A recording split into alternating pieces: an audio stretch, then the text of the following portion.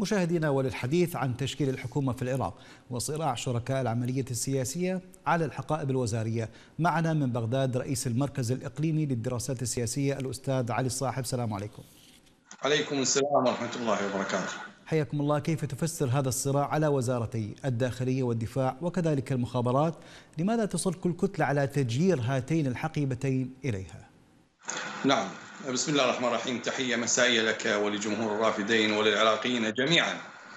حقيقة الأمر لن يستطيع السيد السوداني من الخروج من المحاصصة المقيتة مهما حاول وحتى هذه العبارات التي نسمعها بأن هناك أعطي فسحة وأعطي حرية الاختيار هي ليس إلا للاستهلاك الإعلامي. نعم.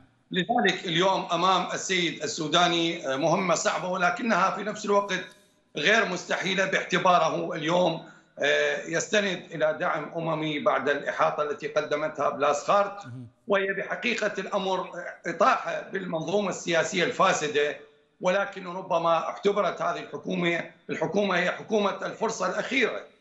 نعم. الخلاف الذي شب أخيرا حول حقيبتي الدفاع والداخلية ليس جديد وليس هو الأول باعتبار أن الداخلية خصصت للشيعة والدفاع خصصت للمكون السني. السيد السوداني طالب بأن تكون الداخلية من ضمن الوزارات الثلاث التي أراد الإشراف عليها إضافة إلى الكهرباء وإلى الصحة. ولكن يبدو أن هناك من يحاول أن يهيمن على الداخلية. وللأسف الشديد كل ما نسمعه عن حرية الاختبار قد يذهب إدراج الرياح لأن الكتل السياسية تعودت على مدى عشرون عاما نعم. أن تتمسك بالمناصب وأن هذه المناصب بحقيقة الأمر هي تباع وتشترى. طيب هنا كيف تقيم خطورة ما يجري بما يتعلق بالملف الأمني في البلاد؟ تحديدا جهازي الأمن الوطني وكذلك المخابرات لا سيما أن مرجعية المتصارعين على هذين المنصبين هما ميليشيات العصائب وكذلك حزب الله. نعم يعني الملف الأمني في العراق شائك ومربك وربما حتى خطر. وحتى البلاد على كف عفريت بتعدد الإرادات وتعدد القيادات والتوجهات وحتى الولاءات.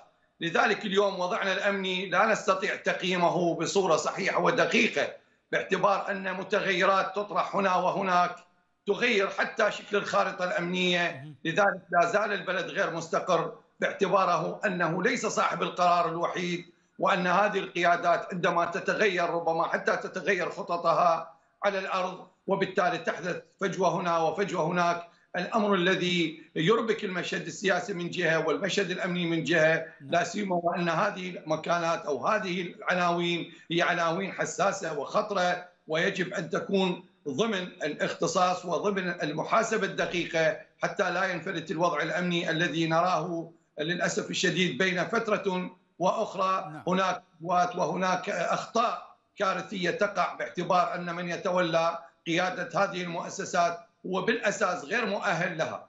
طيب في خضم نعم. هذا الصراع الذي نشهده اليوم في العراق، إلى أي مدى يرجع الأمور أو يرجع الأمور إلى المربع الأول وهو تعطيل تشكيل الحكومة في العراق؟ يعني هل ممكن أن تمنح الثقه الثقة بصورة كاملة أو تمنحها الكتل إلى حكومة السوداني الآن وفق هذا الصراع القائم؟ يعني هذا الخلاف المتجذر والأزلي بين الكتل السياسية فيما بينها من جهة وبين الكتل فيما بينها في في الكتله الواحده اليوم صار عندنا خلاف حتى مع قياداتها.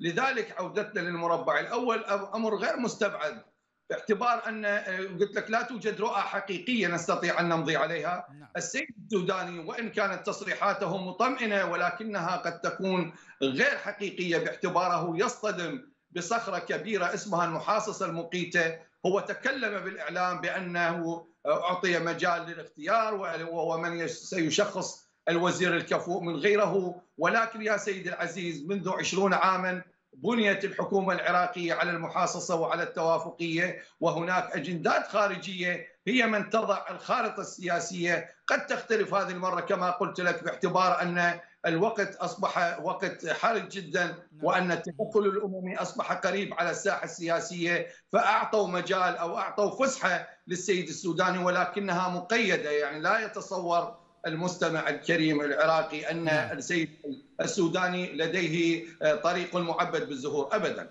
نعم. ماذا عن سيطرة إيران على الحكومة في العراق عبر أذرعها رغم كل التحذيرات الدولية والحقوقية يعني إذا تحدثنا حقيقة عن التدخل الإقليمي والخارجي على العراق فهذا حديث ذو شجون ربما يعني يؤلم كل قلب من قلوب العراقيين لأننا للأسف الشديد أصحاب الإرث السياسي القديم وأصحاب السيادة أصبحنا آه، ربما نكون منطلق للعمليات وساحة لتصفية الحسابات. الواقع العراقي واقع مرير بأن هناك أكثر من دولة خاصة دول الجوار تتدخل ربما تكون إيران لها حصة الأسد في التدخلات في الشأن العراقي وباقي الدول ودول الخليج.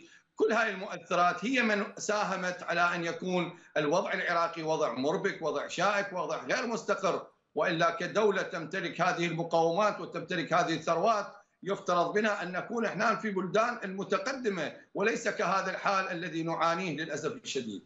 طيب كيف تنظر إلى تشكيل الإطار التنسيقي نفسه أمام هذا الصراع؟ هل سيصمد أمام هذا الصراع بين مكوناته؟ وهل هناك شيء تبقى اسمه الإطار التنسيقي بعد هذه الصراعات؟ يعني بصراحة الإطار التنسيقي ربما حاله حال بقية الكتل ولكن أصبح لا يخلو من التشظي والانقسامات بعدما أصبح به يمين راديكالي ويسار ليبرالي وربما وسط مترنح. حتى أن بعض الجهات السياسية تنظر إلى الإطار على أنها أيام معدودة وربما حتى هذه الوزارات المتق... التي تتقاسمها بينها 12 حصة حصة المكون الشيعي يتقاسمها الاطار التنسيقي ربما هي ساحة أو نقطة انطلاق الخلاف فيما بينهم. هناك انقسامات وربما لم تظهر على السطح ولكن في الواقع الإطار التنسيقي يشهد انقسامات وخلافات فيما بينه وخاصة في موضوع الوزارات تعرف اليوم بالعراق أهم شيء إنه كيف يحصل هذا الطرف على وزارة وخاصة الوزارات الريعية التي تحقق واردات مالية كبيرة. من بغداد رئيس المركز الإقليمي للدراسات السياسية الأستاذ علي الصاحب نشكر مشاركتكم معنا. شكرا لكم.